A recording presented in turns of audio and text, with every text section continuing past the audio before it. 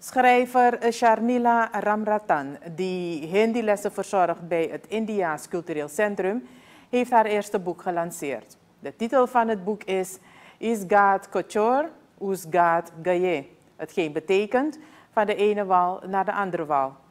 Dit boek is geschreven in het Hindi en in het Engels. Ramratan wil hiermee de Hindi-taal stimuleren. Tegelijkertijd maakt het boek de geschiedenis van de immigranten toegankelijk voor een ieder die daarvoor belangstelling heeft. Het verhaal speelt zich af in India, Suriname en Guyana en heeft te maken met de Hindustaanse diaspora. Ik zit al jaren op Hindi-les en Hindi is een heel mooie taal. Nu volg ik deel 7, dat is Ratna. En uh, tijdens mijn Hindi-lessen had ik een keertje een opstel gemaakt. En mijn Hindi-lerares zei tegen me, jij kan heel mooi schrijven. Dus dat heeft me eigenlijk geïnspireerd om te gaan schrijven. Vroeger schreef ik uh, korte gedichten. En op een dag dacht ik, waarom niet een verhaal uh, over Hindi, in, in het Hindi? Waarom niet een verhaal in Hindi? over Suriname.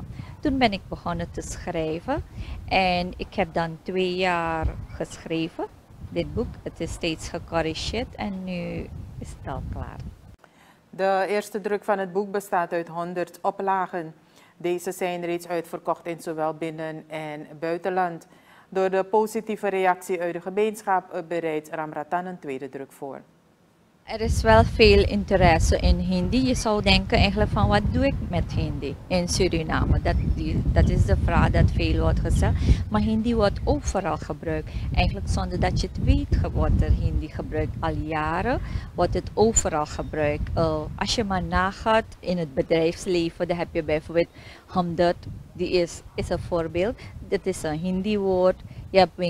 Sari Nagar, is ook een Hindi woord. Je hebt radiostations, Trishul is ook Hindi. Zo heb je taal van stichtingen, ook Matagori is ook Hindi. Er worden slogans gebruikt in Hindi. De taal op de radio is Hindi, Bollywood is Hindi. Dus er wordt veel gebruikt. In de politiek wordt zelfs Hindi gebruikt.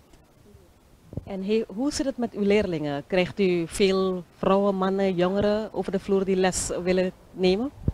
Uh, ja, ik krijg veel jongeren, maar ook veel ouderen. En ook uh, krijg ik soms andere volkeren die geïnteresseerd zijn. Want soms willen ze naar India gaan en dan willen ze ook een beetje de taal kennen.